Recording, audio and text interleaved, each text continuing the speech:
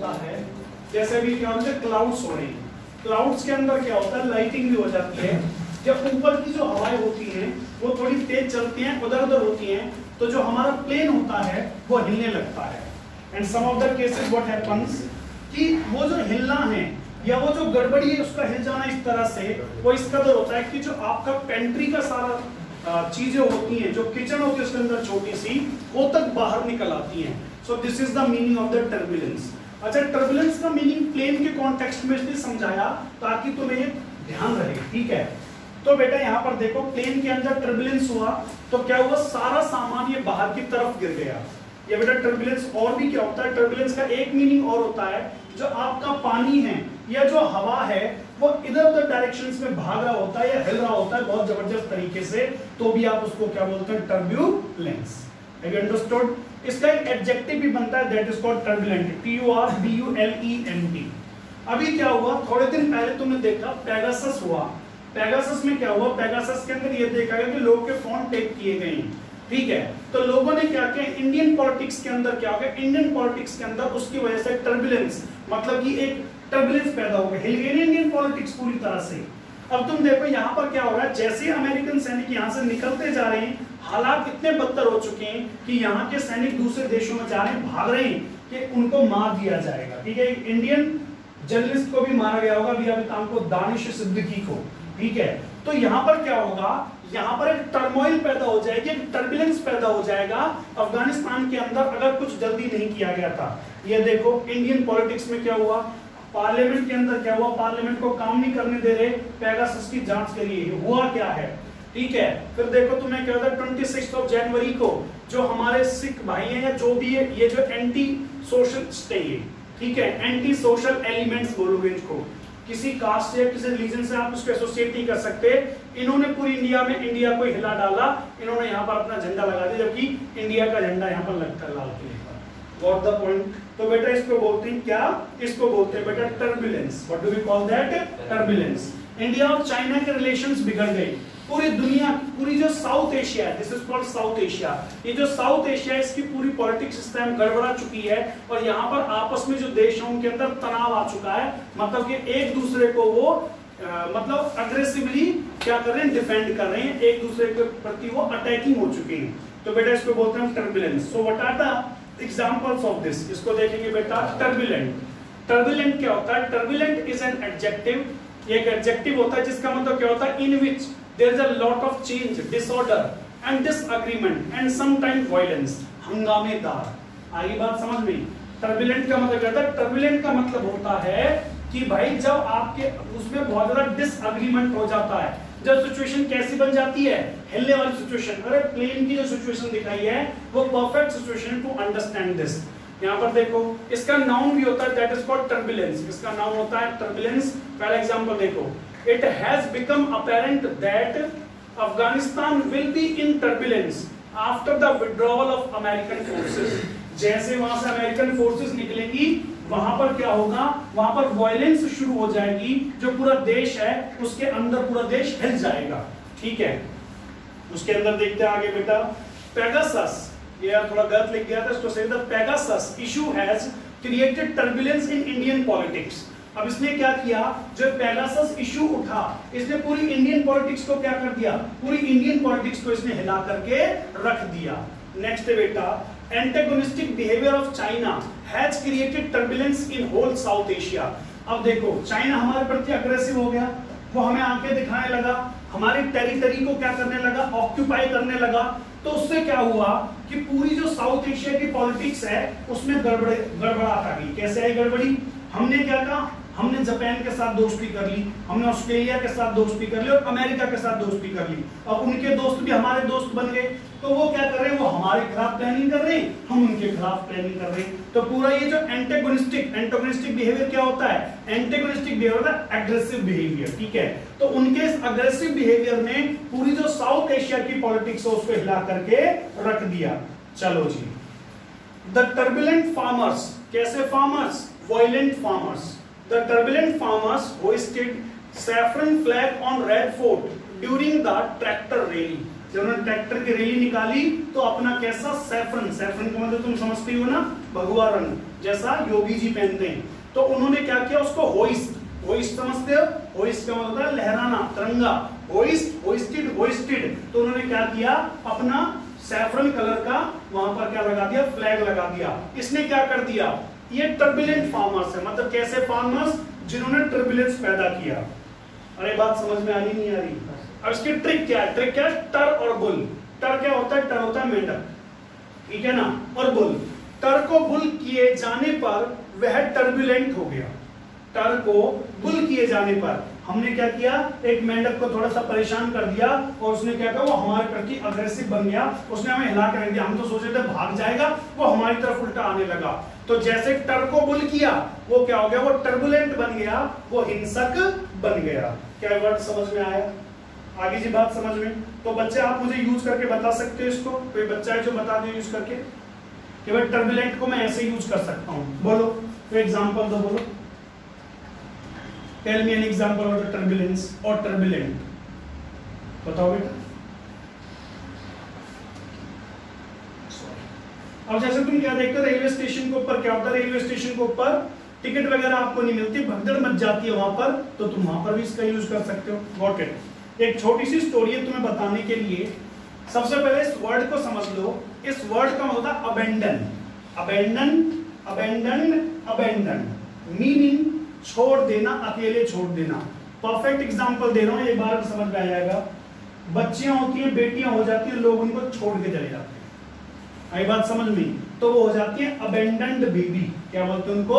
Abandoned baby अच्छा south Korea के अंदर भी ये चीज़ देखने को मिली कि भाई, जो लड़कियाँ हो जाती हैं, उन लड़कियों को लोग क्या कर रहे हैं, कूड़ेदान पर छोड़ जा रहे हैं पब्लिक प्लेसेस पर छोड़ जा रहे हैं। तो वहाँ पर ये आदमी जो कि बहुत ही भले आदमी हैं इन्होंने बनाया द बेबी बॉक्स। क्या बनाया? The baby box. ऐसे समझो, ये इनका ऑर्फनेज है और इस ऑर्फनेज में यहाँ पर एक विंडो लगी हुई है, जिसको बोला जाता है द बेबी बॉक्स। जिसको बच्ची नहीं चाहिए, वो इस बॉक्स को खोलती है। इस बॉक्स को उस तरफ़ कुछ नहीं दिख रहा होता, देखो कर्टेन लगा हुआ है। आकर के वो अपनी बच्ची को रख जाती है और इसको बंद कर देती है। वो बच्ची रोती है, ये व्यक्ति उस बच्ची को निकाल लेते हैं उसका पालन पोषण करते हैं। ठीक है? किस तरह की बच्चियों के पालते हैं? ये अबेंडेंट बच्चियों के पालते हैं, ऐसी बच्चियाँ जिनके माँ बाप उनको छोड़ देते हैं। आगे देखोगे तुम्हें पता लग जाएगा, इस तरह से उन बच्चियों के निकाल लेते हैं। जब कहा खड़े थे, उस तरफ़ खड़े थे। अब ये कर्टेन की तरफ़ खड़े उस बच्चे को अंदर ले रहे अपने ऑर्फनेज के अंदर। आई बात समझ में? बहुत ही अच्छा इनिशिएटिव इनके द्वारा ये। तो अबेंडन के कई सारे मीनिंग होते हैं। एक अबेंडन का मतलब क्या होगा? अबेंडन का मतलब एक और होता होता है निर्जन। मतलब कि निर्जन निर मीन्स नहीं और जन मीन्स लोग। जहाँ पर लोग नहीं रहते, वो निर्जन स्थान बन जाते हैं। अब एक्चुअल में होता क्या है? जो आपके बॉर्डर एरियाज़ होते हैं बॉर्डर एरियाज़ में अगर लोग नहीं रहेंगे जस्ट एग्जांपल जरा सोच के देखना। सरकार की क्या टैक्टिक्स होती हैं? मान लो ये है भाई इंटरनेशनल बॉर्डर इस इंटरनेशनल बॉर्डर के यहाँ अगर कोई गाँव नहीं रहेगा तो होगा क्या? यहाँ से लोग आएँगे और हमारे देश में इजीली बढ़ जाएँगे। अगर यहाँ पर गाँव बसे होंगे तो किसी की हिम्मत नहीं है कि वो हमारे देश के अंदर आ जाए। ये क्या काम करते हैं? They work as a informer ये इन्फॉर्मर की तरह काम करते हैं। चाइना को ये बात समझ में आई? तो चाइना ने क्या किया? जो भी उसके बॉर्डर्स हैं इंडिया से लगते हुए, वहाँ पर लोग नहीं रह रहे थे। ऊंचाइयों पर बसे हुए गाँव हैं। तो उसने क्या किया? जो अपने रिटायर्ड ऑफिसर हैं, उनको वहाँ पर घर बना बना करके दे दिए। जाओ भाई, तुम वहाँ पर रह लो। तो क्या हुआ? बॉर्डर के पास गाँव बन गए। तो ये how do they act they act as a informer for China तो बेटा इनको क्या बोलते हैं? इनको बोलते हैं अबेंडेंट विलेजेस कैसे विलेजेस अबेंडेंट विलेजेस जहाँ पर कोई भी नहीं रहता। जैसे मैं तुम्हें जापान के बारे में कुछ बताता हूँ अभी। एक्चुअल में है क्या? जापान के अंदर लोग वर्कहॉलिक हो चुके हैं। वो सिर्फ़ काम करते हैं। अब वो जो सिर्फ़ काम करते हैं तो क्या हुआ? जो गाँव थे, वो गाँव से शहरों में चले गए सिटी की तरफ़ चले गए नंबर वन नंबर टू जो नंबर दूसरी चीज़ क्या हुई कि वहाँ पर क्या है, बूढ़े लोग जाता है, वो सारे गुजर गए तो गाँव कैसे हैं? गाँव में कोई नहीं रहता तो वो हो गए abandoned villages what do you call that abandoned villages ये मैं तुम्हारे लिए स्लाइड्स बना करके लाया हूँ, लेकिन आज टाइम कम है। ये देखो अबेंडन अबेंडन मींस किसी प्राणी या वस्तु को जिसकी रिस्पॉन्सिबिलिटी आप पर है, प्राय सदा के लिए छोड़ देना। मतलब कि एक बच्ची आपको ही तो रिस्पॉन्सिबिलिटी किसकी है? आपकी है। उसको आपने छोड़ दिया। गॉट इट कोई मिशन है, चल रहा है, जैसे किसी को हम रेस्क्यू कर रहे हैं, वो रेस्क्यू ऑपरेशन में अगर आप बीच में छोड़ देते हो तो उसके लिए भी क्या यूज़ करोगे? अबेंडन शब्द यूज़ कर सकते हो।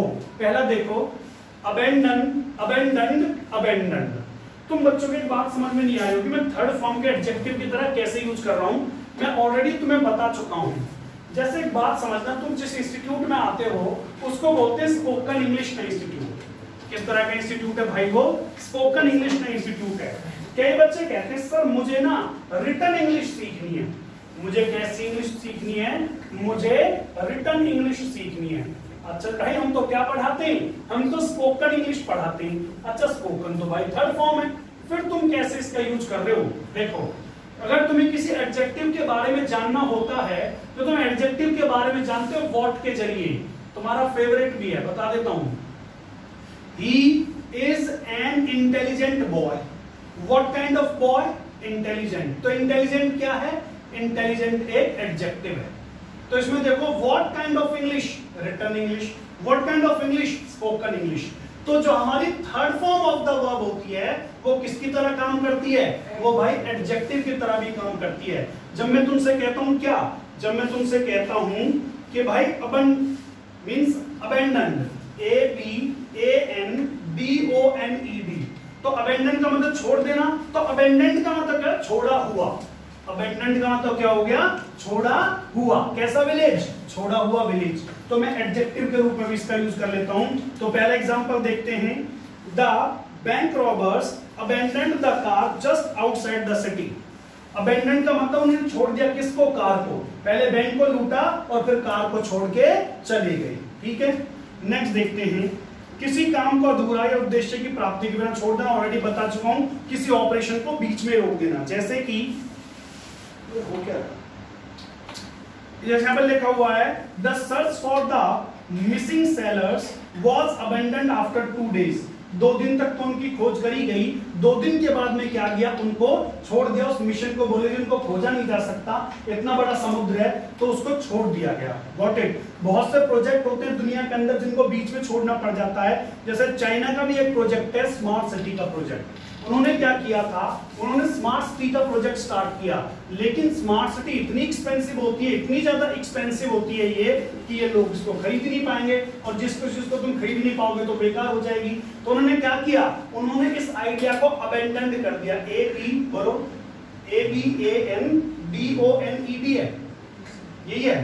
तो देखो यहाँ पर ध्यान से देखो कि उन्होंने क्या किया? इसको बीच में छोड़ दिया। अबेंडेंड आइडिया तो ये कैसा आइडिया बन चुका है अबेंडेंड आइडिया ऐसा आइडिया जिस पर वो काम नहीं कर रहे। चलो जी।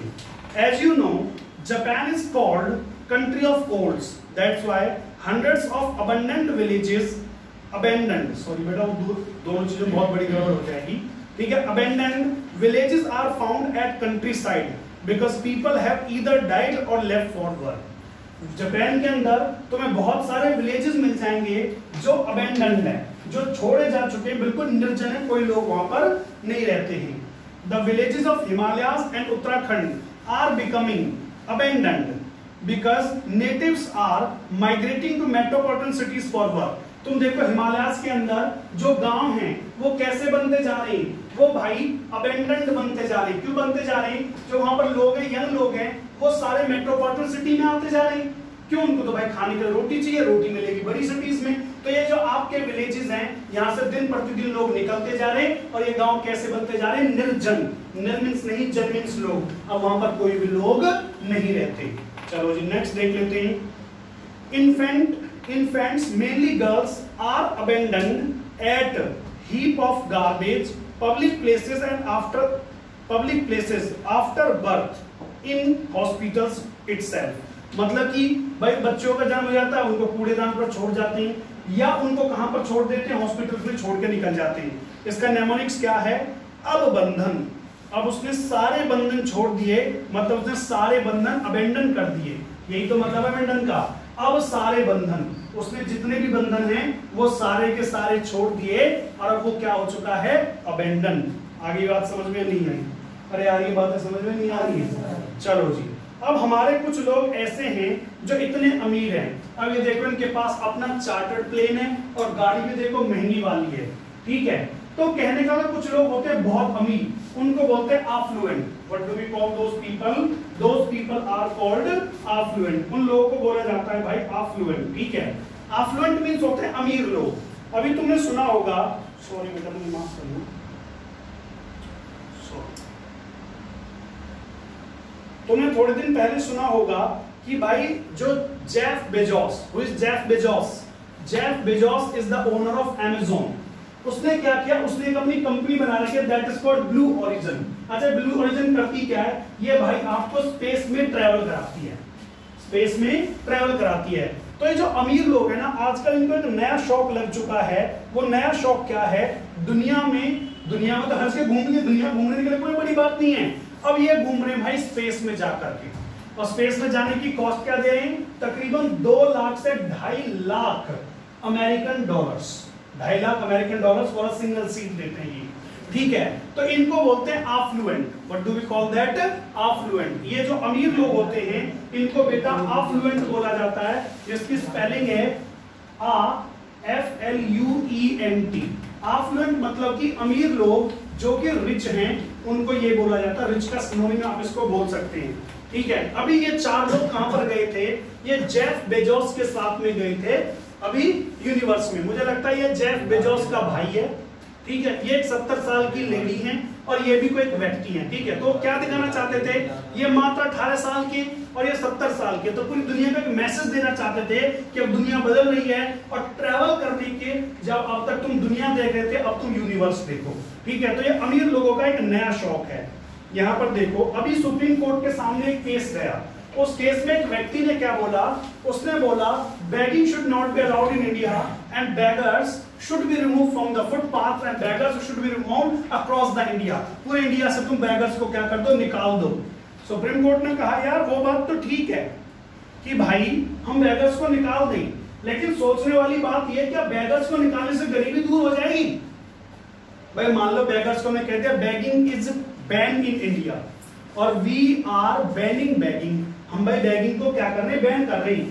तो क्या इससे लोगों के पास खाना आ जाएगा? क्या लोगों के पास पैसा आ जाएगा? नहीं आएगा it is not possible at all तो उसने क्या कहा? It is a social evil ये एक सोशल इविल है, सामाजिक बुराई है ये। अगर भाई दूसरे पॉइंट ऑफ़ व्यू से सोचो, अगर अमीर लोग आफ्लुएंट लोग मदद करें गरीबों की तो क्या बैगिंग खुद ही खत्म नहीं हो जाएगी? बिल्कुल खत्म हो जाएगी। तो सुप्रीम कोर्ट ने क्या सजेशन दिया? Begging is a social evil and affluent people should support beggars अमीर लोगों को क्या करना चाहिए? बैगर्स को सपोर्ट करना चाहिए। And it will automatically remove from India ये भारत से क्या हो जाएगी? ऑटोमेटिकली रिमूव हो जाएगी। चलो जी, यहाँ से आफ्लुएंट मींस होता है बेटा एडजेक्टिव और आफ्लुएंस मींस क्या होता है? आफ्लुएंसिया नाउन है। आफ्लुएंसी क्या है? नाउन है। अच्छा जब मैं नाउन कहता हूँ तो उसका मतलब क्या होता है? जब बेटा मैं नाउन कहता हूँ तो इसका मतलब होता है इंग्लिश के अंदर दो ही पार्ट ऑफ़ स्पीच होते हैं जिनको सब्जेक्ट और ऑब्जेक्ट बनने का अधिकार होता है। एक होता है नाउन और दूसरा होता है प्रोनाउन तो इसलिए नाउन की, ये नाउन कहाँ देखोगे? तुम नाउन देखोगे या तो सब्जेक्टिव फॉर्म में देखोगे या ऑब्जेक्टिव फॉर्म में देखोगे। बाकी फॉर्म में मिल सकता है। सब्जेक्ट कॉम्प्लीमेंट में भी मिल सकता है ऑब्जेक्ट कॉम्प्लीमेंट में भी मिल सकता है। लेकिन मेनली अभी तुम्हें बताने के लिए सब्जेक्ट और ऑब्जेक्टिव फॉर्म में मिलेगा। देखो Recently, Supreme Court has said that begging is a social evil, so affluent people of society should help underprivileged section of society. So this problem can be extirpated than banning it. अब देखो वो क्या कर रहा है ban करने के बजाय ये अमीर लोग इनको सपोर्ट करें ये खुद ब खुद इंडिया से बाहर हो जाएगी affluent nations should share technology with underprivileged or underdeveloping and the developing so that emission of CO2 can be curbed क्या कह रहे हैं? कि जो अमीर अमीर देश इनको क्या करना चाहिए? इनको जो अपनी टेक्नोलॉजी अच्छी टेक्नोलॉजी है, वो शेयर करनी चाहिए। किसके साथ में शेयर करनी चाहिए? गरीब देशों के साथ में, ताकि किसको घटाया जा सके? CO2 को घटाया जा सके। Let's understand investment in human development makes a country affluence अगर भाई तुम अपने देश में लोगों पर पैसा खर्च करते हो मतलब कि हम अपने देश के बच्चों को क्या करें? हम अपने देश के बच्चों को अगर पढ़ाएँ, लिखाएँ तो वो क्या करेंगे? आगे चल के हमारे देश को वो अमीर बना देंगे। तो जो रियल इन्वेस्टमेंट होती है ना एक नेशन की, वो होती है ह्यूमन रिसोर्स में। अच्छा ह्यूमन रिसोर्स में कैसे? एजुकेशन और हेल्थ में। जो देश एजुकेशन और हेल्थ में ज़्यादा पैसा खर्च करते हैं, वो देश हमेशा अमीर होते हैं। गॉट इट चलो जी, आगे बढ़ जाते हैं। तो यहाँ पर क्या लगा रहा है? नेक्स्ट है बेटा affluent countries should provide free covid vaccines to the poor countries so that corona can be uprooted. अब देखो गरीब दो देश क्या उनके पास तो अफोर्ड ही नहीं कर पा रहे, वो तो कोरोना वैक्सीन तो इन अमीर देशों को क्या चाहिए? उनको वैक्सीन दो। क्योंकि एक व्यक्ति को भी कोरोना होने का मतलब पूरी दुनिया में कोरोना फैला सकता है वो। तो ताकि ये जो कोविड 19 फैला, इसको उखाड़ फेंका जाए अपरूटेड अप रूट रूट से निकालना है। ठीक है? तो बेटा अपरूटेड अगर इसको करना है तो अमीर देशों को चाहिए कि वो गरीब देशों के साथ में क्या करें? उनको भाई वो कोविड वैक्सीन दें। अब देखो बेटा travelling to space is the new destination for affluent of the world said Blue origin, which has got 600 bookings of the rich to travel beyond earth. तुम्हें तो ये बात सुन के भी अच्छी लगेगी वैसे। दुनिया में 600 अमीर ऐसे हैं जो ऑलरेडी बुकिंग करा चुके हैं। किसके पास? जेफ बेजोस की ब्लू ओरिजिन के पास कि हमें स्पेस में जाना 600 लोग तो ऐसे हैं जिन्होंने बोलते हैं हम तो जाएँगे भाई। उन्होंने अपनी सीट बुक करा चुकी है। और ये जो कंपनी है ब्लू ओरिजिन 2023 से शुरू भी कर देगी ये वाली चीज़। हर साल 100 100 200 लोग अब जाया करेंगे स्पेस में घूमने के लिए। तीन बहुत बड़ी कंपनी इसमें काम कर रही है मैं टाइम वेस्ट नहीं करना चाहता। सिर्फ़ इतना समझ लो। तो अब देखो travelling to space is the new destination for affluent और आफ्लुएंट जो अमीर अमीर लोग है ना, इनकी नई डेस्टिनेशन क्या इन सब का ख्वाब है, भाई, अब तो घूमना है हमें स्पेस में। ठीक है, अब यहाँ पर देखो आफ्लू किसी आफ्लुएंट को भी पकड़ सकता है। भाई फ्लू है, बीमारी है कोई, वो तो भाई किसी आफ्लुएंट गरीब को पकड़ सकती है और अमीर को भी पकड़ सकती है। तो इसका नेमोनिक्स क्या है? इसका नेमोनिक्स है आफ्लू किसी आफ्लुएंट को भी पकड़ सकता है। बातें समझ में आ रही है मेरी? चलो जी उसके बाद की बातें करते हैं। इतने सारे फल, है ना? इनको बोलते हैं plenty what do we call that plenty लेकिन प्लेंटी तो बड़ा सिंपल सा वर्ड है। इसके लिए बहुत अच्छा वर्ड लेकर के आया हूँ मैं, ताकि कंफ्यूज मत होना दोनों वर्ड्स के बीच में। देखो, ये बहुत सारी मात्रा में है, और ये देखो ऑस्ट्रेलिया की कोल माइंस हैं।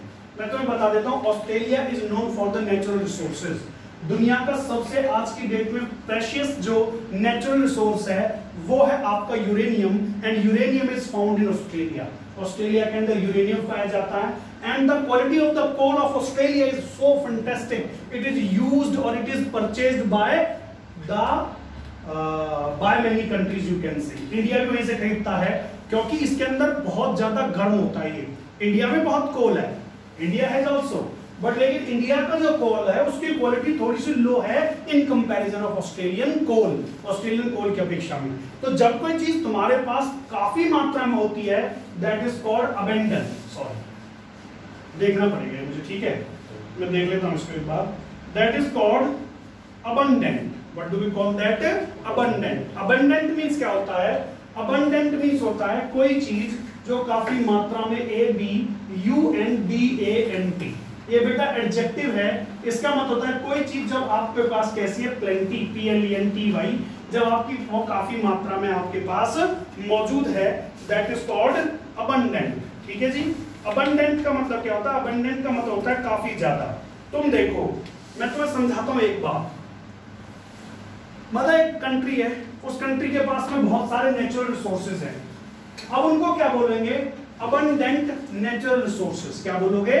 Abundant natural resources but those abundant natural resources can't be utilized without brain भाई, तुम्हारे पास कोल पड़ा है।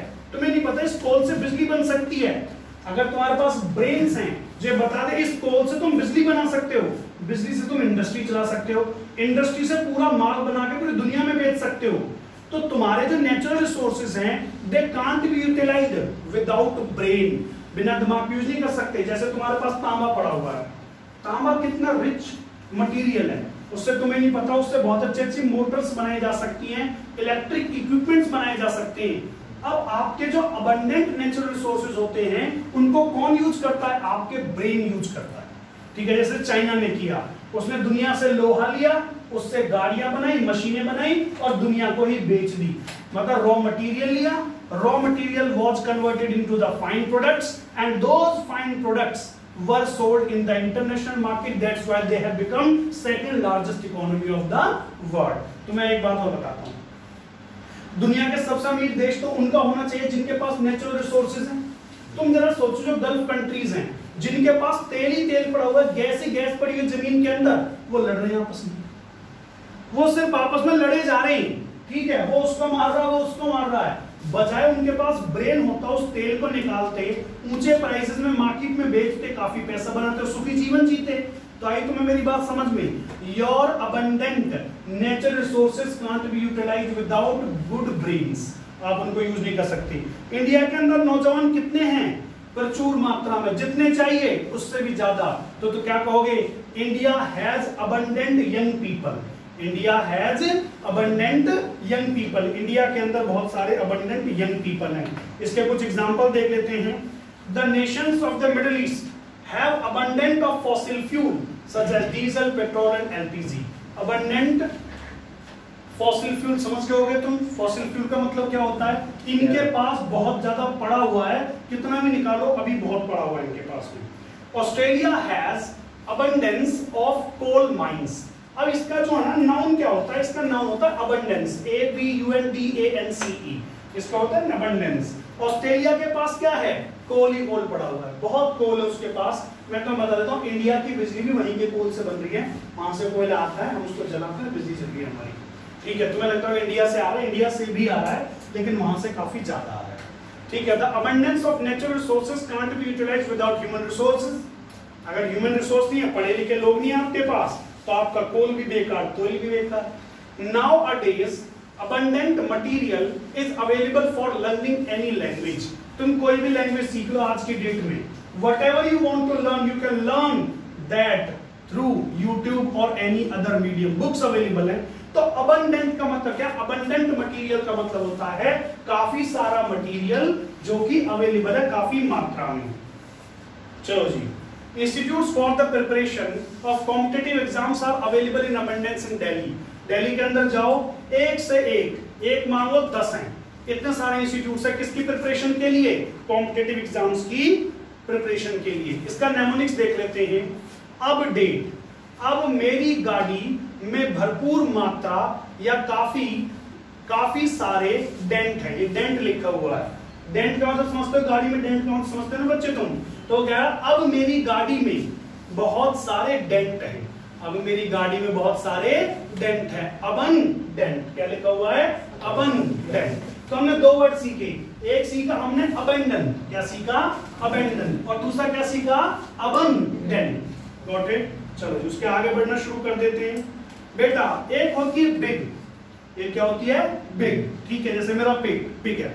लेकिन कुछ ऐसी चीज़ें होती हैं जो होती है विशाल, बहुत बड़ी। जैसे कि the Statue of Unity the Statue of Unity मतलब कि ये जो स्टैचू ऑफ़ यूनिटी है, ये बहुत विशाल है, बहुत बड़ा है। अब यहाँ पर तुम्हें और भी चीज़ बड़ी देखने को मिलेगी। अब तुम्हें समझ में आएगा कि कितना बड़ा है स्टैचू ऑफ़ लिबर्टी अरे, इन लोगों में कोई तो ये पाँच फीट के लोग तो होंगे, छह फीट के तो होंगे। अब तुम देखो, यहाँ से इसका कंपैरिजन करो कि कितना ऊँचा है। जब बहुत कोई चीज़ बहुत बड़ी होती है कोई बहुत चीज़ बहुत ज़्यादा विशाल होती है that is called colossal that is called colossal colossal means होता है कोई चीज़ जो बहुत ज़्यादा विशाल है। ये देखो डैम जो तुम देख पा रहे हो। और ये डैम का एक ही हिस्सा है, तुम्हें लगा कुछ बड़ा डैम नहीं है। ये डैम का एक ही पार्ट होता है, ऐसे 40 40 पार्ट भी पाए जाते हैं एक डैम के अंदर।